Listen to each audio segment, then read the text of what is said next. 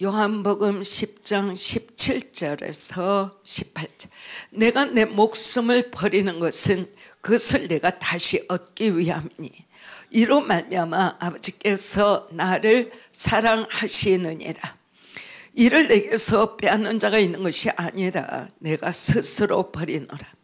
나는 버릴 권세도 있고 다시 얻을 권세도 있으니 이 계명은 내 아버지께서 받았노라 하시니라 아멘 오늘 이제 말씀을 보니까 주님은 이미나도 십자가에 오르시기 그 전에라도 이미나도 주님은 내 목숨이 버려져야 한다라는 것을 아시고 계신 거예요.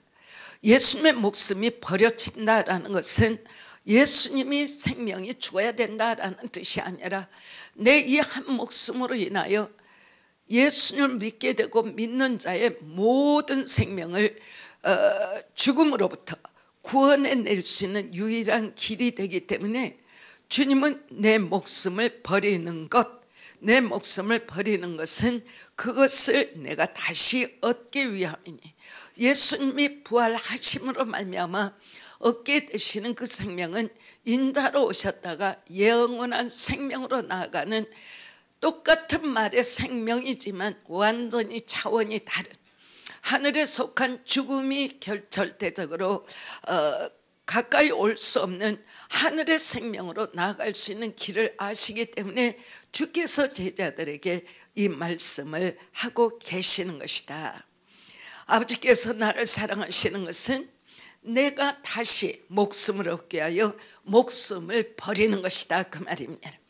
오늘 이 말씀은 예수님만이 하실 말씀이 아니라 오늘 교회 가운데 다니면서 우리의 믿음에 믿습니다라고 생각하는 많은 기독교인들이 실질적으로는 종교적으로 교회 나와 죄를 성수할 때가 많다라는 것에 참으로 비극적인 믿음이라 아니할 수가 없습니다. 예수를 믿는 것은 내가 믿는 것이 아니요 하나님이 나를 구원하셔 우리 안에 오시기 때문에 예수님께서 구원하시고 부활하신 생명은 언제 어느 때 예수님을 영접하고 난 다음에는 내가 사는 것이 아니요. 내가 삶으로 말미암아 내 생각 내 뜻대로 내가 행하는 내 삶으로 이 삶이 끝나는 것이 아니라 예수를 믿는 믿음 안에서 예수께서 이루신 영생의 삶으로 우리가 들어가기 때문입니다. 예수를 믿는 삶은 세상과 전혀 같지 않습니다. 세상이 염려하는 대로 염려하지 않습니다. 세상이 삶을 바라보는 대로 바라보는 삶이 전혀 아닙니다. 이제 우리에게는 죄의 멍해가 끝났습니다. 죄를 지어도 주님 앞에 우리 주 예수 그리스도의 이름으로 진정 하나님 앞에 회개하면 하나님은 우리의 그러한 죄 멍해를 끊어주시고 우리의 죄를 사해 주심으로 하늘의 영원한 생명이 언제라 할지라도 우리 안에 살아있어 내 생각이 아니라 하나님의 뜻을 통하여 하늘의 축복을 체험할 수 있는 삶으로 살아가는 것이 믿음에 바르게 서 있는 사람의 삶인 것이 있는 것입니다. 절대적으로 이제는 예수를 믿는 믿음 안에 있는 사람들이 믿음으로부터 뒤로 물러가지 않는다면 우리의 삶에 이 구원의 놀라운 역사로부터 우리가 가지고 있는 하나님의 어떠한 축복권이라도 사단에는 손댈 수가 없는 것이고 내가 스스로 주님께서는 이 생명을 내려놔 하나님의 작정하신 새로운 그 길로 나아가는 것을 오늘 말씀하신 내 목숨을 내가 버린다. 그것을 내가 다시 얻기 위함이라 그랬어요. 예수님의 이 말씀은 오늘 이 자리에 와 있는 믿음의 사람들이 복음을 바로 믿고 있다면 이 말씀의 깊이와 높이와 넓이가 얼마나 큰 것인지 잘 아시려 믿습니다. 때로 우리는 세상 안에 살면서 세상을 취하기 위하여 세상과 함께 경주가 할 때가 있죠. 예수를 믿는 사람들은 세상 기준으로 살아가는 사람들이 아니고 이미 나도 하나님 나라에서 영생을 주신 하나님께서 영생을 살라라는 하나님의 구원의 생명 안에서 살아가기 때문에 몸은 세상에 있지만 우리의 삶의 가치관은 하늘나라에 속해 있기 때문에 어느 때 어느 시간 어느 환경이라 할지라도 좌절이나 염려나 근심이나 뒤로 물러가는 것이 아니라 언제나 할지라도 하나님의 뜻에 일치가 되어 부활의 생명 안에서 세상으로 말미암아 정복자가 되고 살아가는 삶이 예수 믿는 믿음의 사람들이 갖는 태도다라는 믿음의 사람들이 많은 시간에 세상 염려를 가지고 염려합니다. 세상 아픔을 가지고 아파합니다. 세상 근심을 가지고 근심합니다. 그러나 주님은 나를 믿으라 말씀. 예수님을 믿게 될 때는 우리의 생명이 심장이 박동하고 육체가 움직이는 것을 생명이라 생각할지 모르지만 예수님을 영접한 사람들은 육체 생명 이전에 하늘에 영원한 생명이 내 안에 있어 이 생명을 육체나 세상에 살아가는 사회적 어떤 모습들이 절대적으로 나를 손댈 수 없고 나를 좌절시킬 수 없고 나를 물러갈 수 있도록 나에게 영향을 줄 수 있는 것은 이 땅에 아무것도 없다라는 것을 시간마다 때마다 숨쉬는 순간마다 내 믿음으로 나를 불러 일으켜 예수님만이 내 삶에 주님이 되시도록 살아가는 사람들이다라는 말입니다. 부활하신 주님께서는 스스로가 우리의 생명의 근본이 되시는 하나님이 되셨음을 이제 우리에게 확인시켜 주고 계십니다. 닥쳐올 주님의 고난이나 주님의 죽으심이나 이 부활 반드시 하나님의 계획과 목적을 위해서 이것은 하나님의 계획과 목적에 죄인들을 구원하시기 위하여 아담의 후손들을 구원하시기 위하여 아담이 아닌 새 아담 옛 아담이 아닌 새 아담 곧 예수 그리스도가 이 땅에 있으셔야 한다는 것을 주님은 너무나도 잘 알고 계셨다. 사망 원세가 절대적으로 우리 주 예수 그리스도를 손댈 수가 없어 사망 원세, 좌절 원세, 죽음의 원세가 우리 주 예수 그리스도 앞에 나타나 권위를 행할 수가 없었다. 사망은 사단이가 죄를 따라 우리에게 다가오죠. 하기 때문에 우리의 믿음은 언제라 할지라도 주님은 죄로부터 회개하여 하나님의 자녀가 되도록 하셨고 우리의 삶의 여정에 하나님의 말씀에 기준하여 삶마다 때마다 숨 쉬는 순간마다 하나님의 뜻대로 연합되지 아니할 때는 우리의 죄를 자백하여 예수 그리스도의 이름으로 하나님의 생명 앞에 우리가 회복될 때는 하나님은 언제라도 우리의 죄로부터 사함을 주시고 우리를 부활에 이른 하나님의 자녀로 언제든지 사랑으로 받아주신다라는 것입니다. 하기 때문에 그리스도의 사람들은 어느 시간이라도 내 육체의 눈으로 밝히 보는 것이 아니라 우리의 마음의 눈이 밝혀져서 사물을 세상 기준이나 교육적 기준이 아니라 하나님의 기준으로 내 영안이 내 영의 눈이 밝혀짐으로 말미암아 사물과 생명과 사는 삶의 뜻과 기초가 완전히 세상과는 다른 것입니다. 예수님이 우리의 죄를 사하시고 부활을 하심으로 말미암아 그 부활의 능력이 하늘로부터 우리에게 임하는 하늘의 놀란 그 새로운 생명 안에서 우리는 세상과 같이 살아가지 않습니다.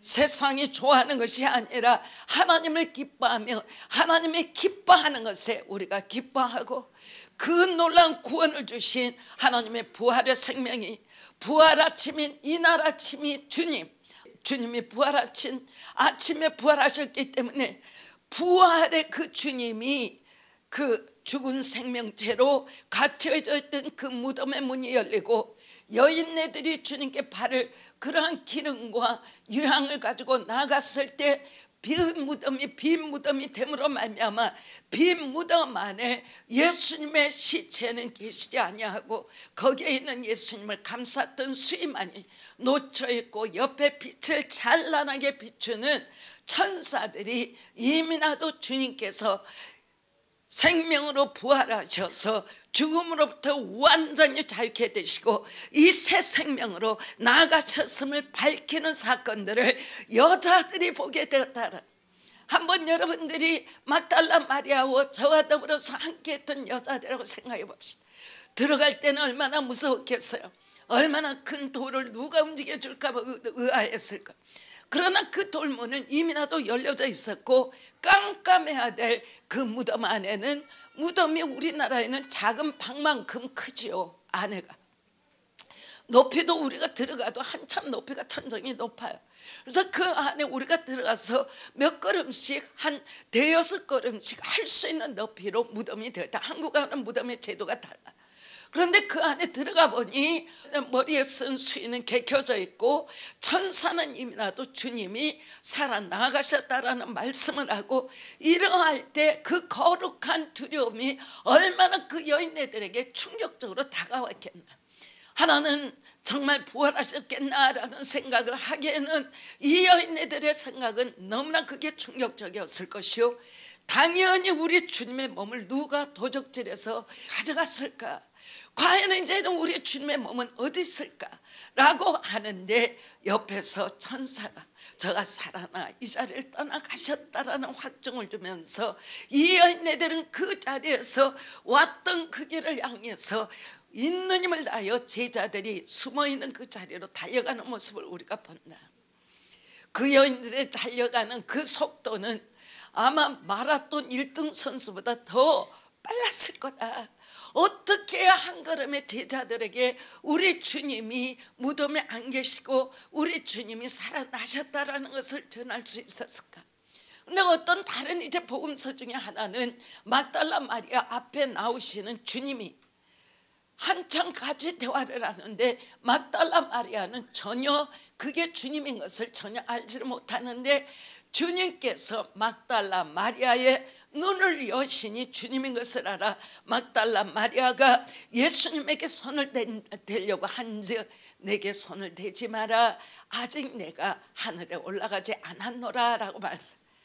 그 예수님의 모습은 너무나도 여러분들과 저에게 놀라운 모습인 것은 우리가 얼른 생각하면 이게 육체에 실제가 없는 존재가 아닌가라고 생각할 수 있을 것 그러나 주님의 육체가 완전히 육의 부활과 영의 부활이 함께 있는 모습으로 주님의 제자들 앞에 이제 나오기 시작하고 40일 동안을 문을 열고 나오지 아니하시고 벽을 통하여 나오기도 하시고 제 여, 여, 너희들아 라고 부르시기도 하시고 또 그물 그 몸을 가지고 제자들이 밤새껏 물고기를 잡았지만 아무것도 화탕하고 돌아왔을 때 주님의 말씀을 받아 돌아옴으로 말미암아 어마어마한 고기들이 완전히 배가 두 배 차도 넘칠 정도로 돌아왔을 때 주님이 이미 나도 밥을 준비하시고 고기를 구워서 얘들아 이리로 오라 해서 아침을 같이 먹는 그러한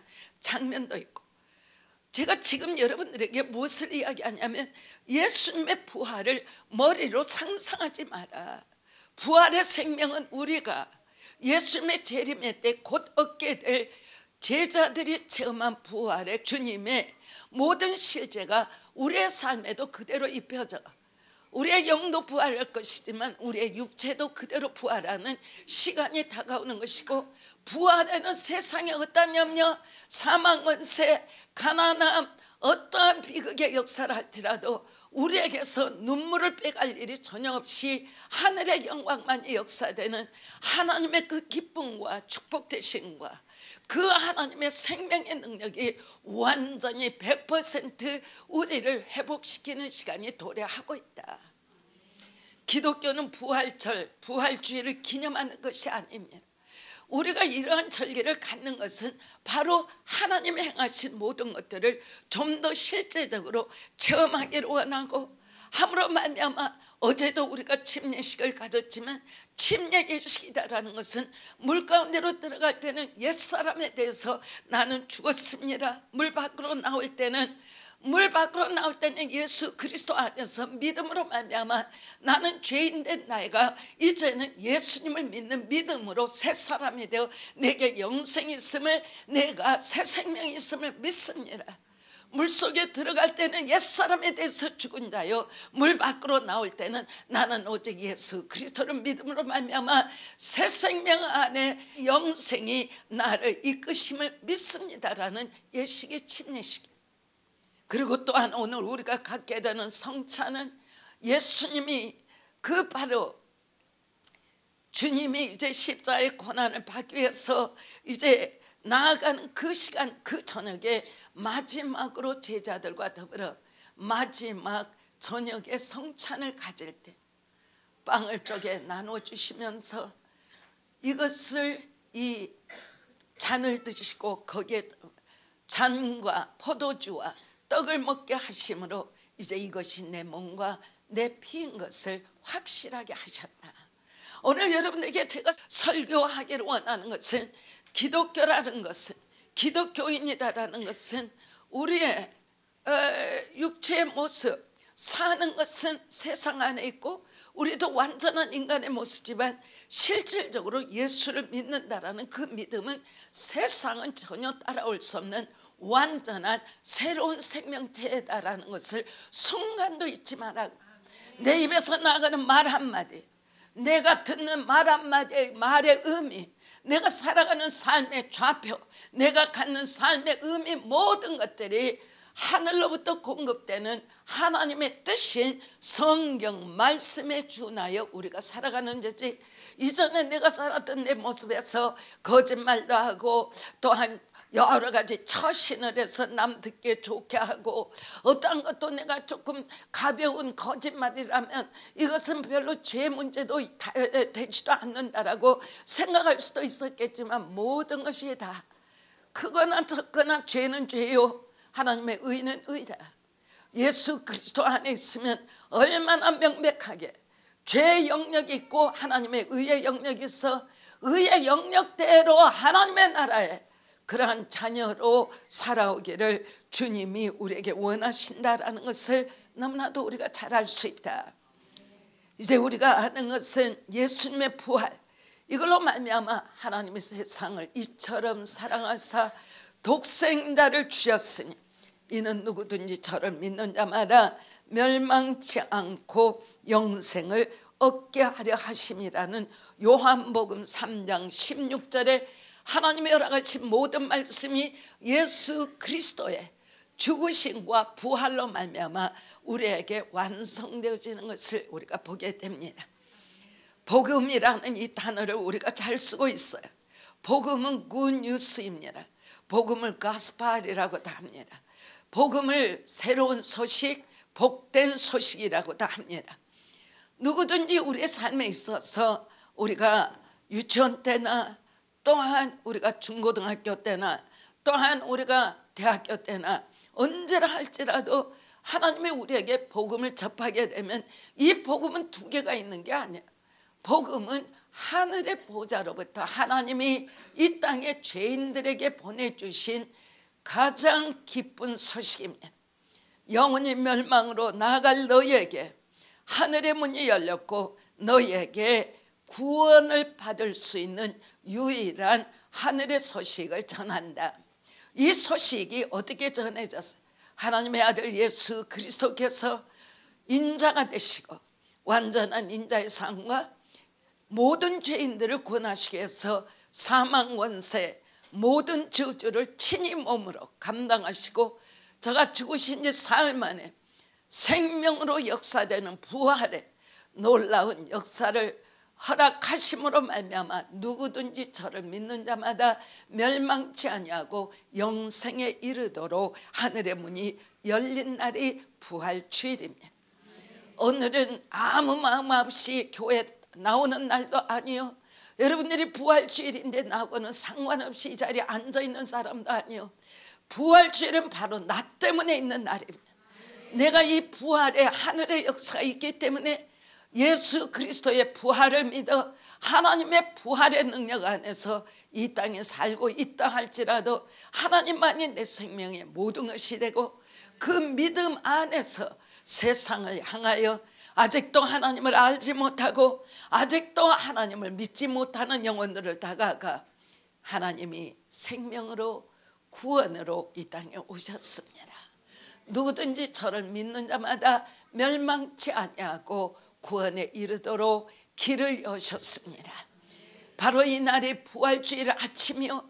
그러기 때문에 우리의 삶에 어떤 환경, 어떤 순간이라 할지라도 하나님의 부활을 알고 믿는 자마다 삶의 어떤 여건과 환경이라 할지라도 돌파할 수 있는 믿음이 있고 믿음의 승리의 삶을 살아 우리의 삶의 여정에 하늘의 문을 열고 나아가는 그러한 역사가 있는 것이 예수님의 부활 안에서 하늘의 손길입니다. 믿습니까? 믿습니까? 예수님이 부활하심을 믿지 못하면 아직 그리스도인이 아닙니다. 예수님의 부활을 믿지 못하면 구원이 없습니다. 교회를 나와서 의자를 대피고 있지만 구원받을 수가 없습니다. 예수님의 구원은 예수님이 죽음으로부터 사망 원세를 완전히 정복하시고 부활하심으로 하늘의 영원한 생명으로 우리에게 오셔 누구든지 저를 믿는 자마다 하늘의 생명 안에 하나님의 자녀가 되게 하셨다라는 엄청난 하늘의 역사가 바로 부활입니다. 이 부활을 믿는 자마다 여러분의 삶의 여정에 믿음의 승리가 올 것이요 여러분의 삶에 영생이나 물질의 축복이나 여러분의 삶의 여정에 어떠한 사랑과 인간관계도 우리가 받아들일 수 있고 축복할 수 있고 용서할 수 있고 함께 믿음 안에서 나란히 갈 수 있는 하늘의 은총과 은혜가 임하는 귀한 역사를 이루신 하나님 앞에 감사할 수 있는 부활 주일이 되는 것입니다. 이러한 모든 역사가 여러분들과 여러분들의 가족 위에 하늘의 문이 활짝 열리는 부활의 아침이 되시기를 주 예수님의 이름으로 축원합니다.